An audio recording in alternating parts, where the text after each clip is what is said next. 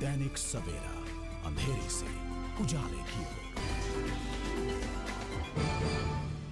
अमृतसर में मानावाला के नज़दीक गाँव बिसंबरपुरा में अमर शहीद जीवन सिंह की याद में राज्य स्तरीय समागम किया गया, जिसमें पंजाब के मुख्यमंत्री प्रकाश सिंह बादल विशेष रूप से उपस्थित हुए। इस दौरान उन्होंने पत्रकारों से बातचीत के दौरान अमर शहीद जीवन सिंह की कुर्बानी के बारे में जानकारी देते हुए बताया कि पंजाब के सभी शहीदों की यादगार बनानी ज़रूरी है, जिससे कि आने वाली पीढ़ियों को इन शहीदों के बारे में पता चल सके। जो कि बहुत महान शहीद हुए हैं।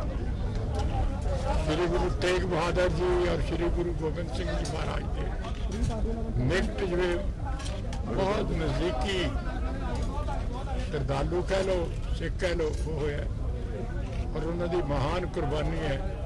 ਉਹਨਾਂ ਨੂੰ ਸ਼ਰਧਾ ਦੇ ਫੁੱਲ ਭੇਟ ਕਰਨ ਵਾਸਤੇ ਇੱਥੇ ਸਾਰੇ ਹਾਜ਼ਰ ਹੋਏ ਸਾਨੂੰ ਬੜਾ ਫਖਰ ਹੈ। ਪੰਜਾਬ ਨੂੰ ਵੀ ਮਾਣ ਹੈ, ਬਹੁਤ ਵੱਡਾ, ਕਿ ਸਭ ਤੋਂ ਵੱਧ ਕੁਰਬਾਨੀਆਂ ਕਿਸੇ ਕਾਜ਼ ਵਾਸਤੇ ਦਿੱਤੀਆਂ ਤਾਂ ਪੰਜਾਬੀਆਂ ਨੇ ਦਿੱਤੀ। ਜੰਗੇ ਆਜ਼ਾਦੀ ਵਿੱਚ ਸਾਡਾ ਬਹੁਤ ਵੱਡਾ ਹੈ।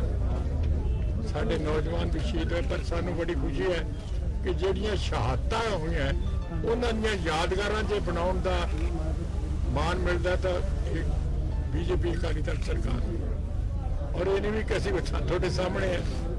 ਸ਼੍ਰੀ ਅੰਮ੍ਰਿਤਸਰ ਸਾਹਿਬ, ਹੁਣ ਭਗਵਾਨ ਬਾਲਮੀਕ ਜੀ ਦੀ ਸ਼ਹਾਦਤ ਉੱਥੇ ਯਾਦਗਾਰ ਬਣ ਰਹੀ ਹੈ। ਔਰ ਫੌਜੀ ਜਿਹੜੇ ਸ਼ਹੀਦੀ ਵਾਰ ਹੀਰੋ, ਵਾਰ ਮੈਮੋਰੀਅਲ, ਉਹ ਵੀ ਉੱਥੇ ਬਣ ਰਿਹਾ ਕਰਤਾਰਪੁਰ ਸਾਹਿਬ ਜੰਗੇ ਆਜ਼ਾਦੀ ਦੀ ਯਾਦਗਾਰ ਬਣਾ ਰਹੇ ਬਾਬਾ ਜੈਤਾ ਜੀ, ਜੀਵਨ ਸਿੰਘ ਜੀ ਨੰਦਪੁਰ ਸਾਹਿਬ ਬਣਾ ਰਹੇ ਹਨ ਮਤਲਬ ਇਹ ਬੜੀਆਂ ਵੱਡੀਆਂ ਯਾਦਗਾਰ ਹੈ, ਜਿਹਦੇ ਨਾਲ ਆਉਣ ਵਾਲੇ ਸਮੇਂ ਆਪਣੇ ਬੱਚੇ, ਆਪਣੇ ਬਜ਼ੁਰਗਾਂ ਦੀਆਂ ਕੀ